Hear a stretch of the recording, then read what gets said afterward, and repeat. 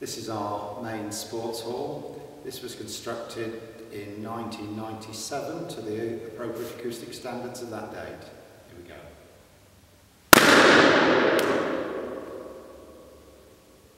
So for comparison purposes, here we are in a traditional old school gym.